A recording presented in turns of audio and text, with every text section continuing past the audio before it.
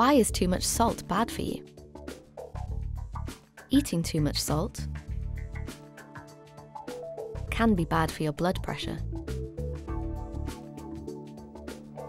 Your kidneys help control your blood pressure by taking water out of your bloodstream. Salt contains sodium.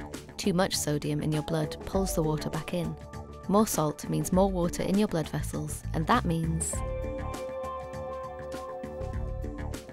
higher pressure. Over time, high blood pressure makes your blood vessels work harder. To cope, their walls thicken, reducing the space inside the blood vessels.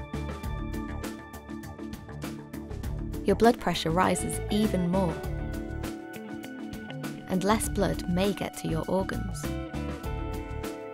Blood carries oxygen and other nutrients around the body,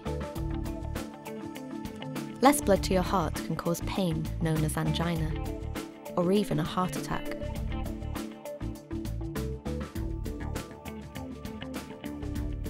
Less blood to your brain can cause a stroke or a type of dementia.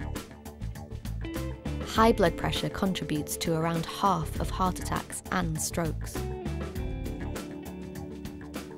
Adults and children over 11 shouldn't eat more than 6 grams of salt a day.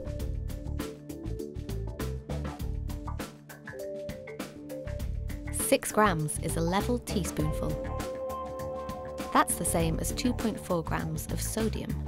Younger children should eat less.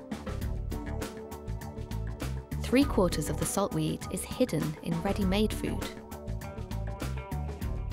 They may not even taste salty, like bread and breakfast cereal.